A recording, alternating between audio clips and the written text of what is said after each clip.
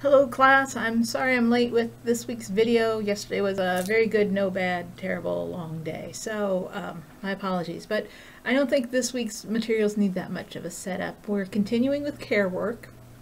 The things to note are that we are dealing now with issues of um, policy and the the global impact. Uh, there's there's a saying in feminism about white women getting ahead on the backs of women of color. And in part, that's because um, women of means who have the professional jobs tend to rely on minority women to do their home care work. So we typically have uh, the, the women of color are more likely to engage in paid care work and particularly paid care work in the home. So they'll be doing the housekeeping and the child care. So that's a thing to keep in mind. Now, a lot of women come from other nations.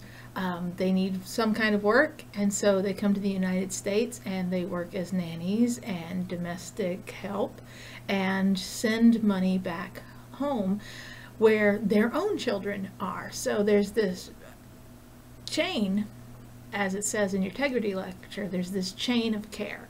So that's the sort of thing we're talking about. Those are the focuses for this week on care work.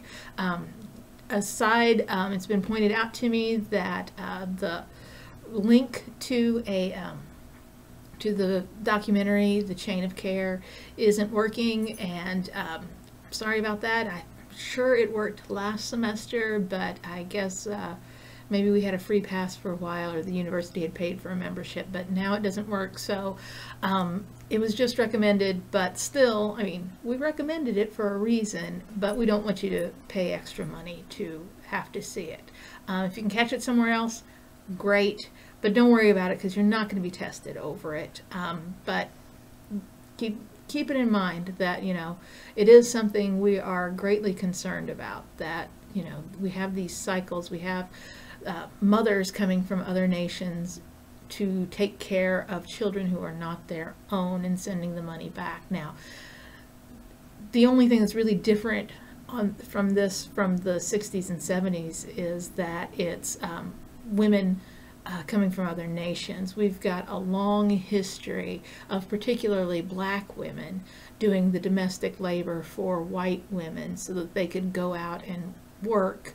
Um, so black women were taking care of uh, white children and leaving their own children in the care of someone else. So it's a it's sort of strange and sort of not. We're a little too habituated to it for my taste, but that's me. So I hope you have a good week. Take care, stay warm, and if you're in the Northeast, stay safe.